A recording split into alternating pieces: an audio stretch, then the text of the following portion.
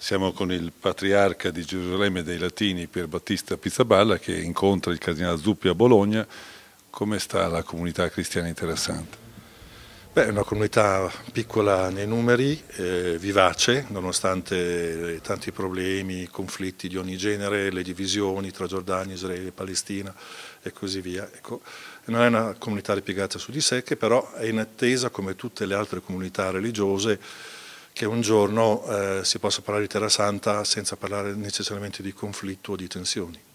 Eh, fare unità diciamo, è, è, la sfida principale perché ehm, i nostri confini tra Israele, Giordania, Palestina e anche con Cipro non sono confini semplici, eh, quindi dopo generazioni in cui le, le, le, comunità non riescono a incontrarsi il rischio è quello di andare ciascuno un po' per conto suo.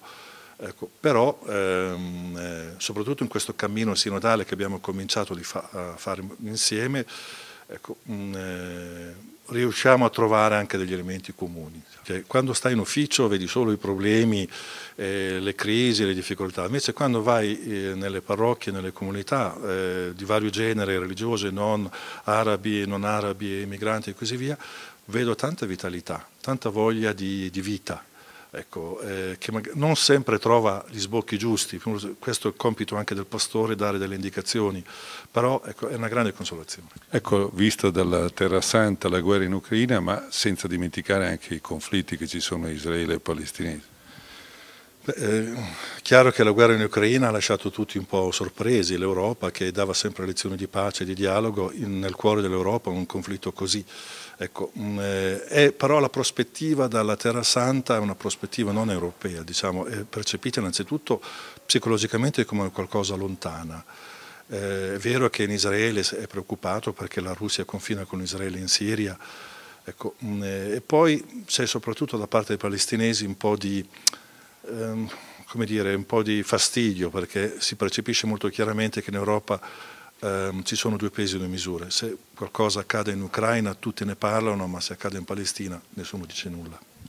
Ecco, questi due anni di pandemia hanno segnato anche la difficoltà di viaggiare, di venire a fare pellegrinaggi interessanti. Com'è la situazione adesso e se si può riprendere con speranza a tornare a viaggiare, a fare pellegrinaggi interessanti?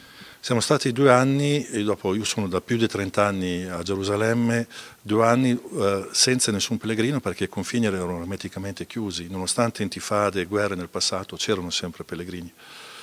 Eh, adesso però, grazie a Dio, siamo, mi pare, alle spalle delle grandi ondate della pandemia e i pellegrini cominciano a tornare. Eh, città, la città di Gerusalemme, soprattutto le vie di Gerusalemme, cominciano a, non proprio a pullulare, ma a vivere, a riattivare le dinamiche di vita con i pellegrini. Ecco, è un ritorno di padre Pizzaballa a Bologna.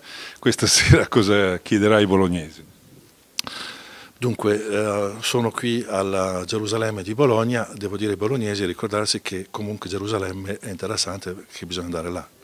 Allora questo è un invito anche come augurio di pace. È un augurio di pace perché pellegrini, la presenza dei pellegrini è sempre una presenza di pace. Eh, la Pasqua a Gerusalemme è un unicum, eh, sarebbe bene poterla fare a Gerusalemme eh, eh per i pellegrini bolognesi e la Pasqua comunque è un annuncio di vita e soprattutto in questo momento è quello di cui abbiamo bisogno, una vita che nonostante tutto, eh, vita e amore, nonostante tutto hanno l'ultima parola.